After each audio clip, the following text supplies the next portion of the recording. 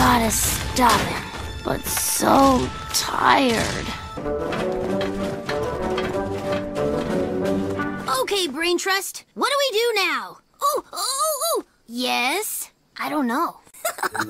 You're dumb. I'm not. Hey, this wall tastes like dirt. Uh, what just happened? Well, let's see. We discovered an ancient tomb, moved those mirror things around, and got steamrolled by a thousand-year-old reptile. Did I leave anything out? Yeah, you forgot the part where it was all Sonic's fault. I was saving you!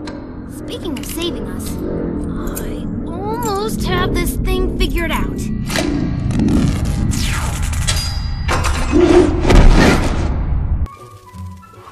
Is this a towel? What am I supposed to cover with that? Are you making fun of me?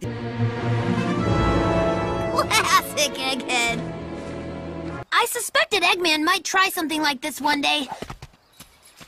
That's why I created these. Good thinking, Tails. We'll stuff these with leaves, dump them in the ocean, and start a new life two towns over. No, they're high-tech wetsuits for battling Eggman underwater. Fine. We'll go with Plan B. All right, here I go! Maybe you need a little boost. Retirement? Yeah, you're gonna be able to play lots of golf and spend time with the grandkids. I don't have grandkids. Well, now's your chance to get some. Trust me, it's for the best. I'll, I'll see you around, pal. Wait, what just happened? I fired you. Okay, just checking.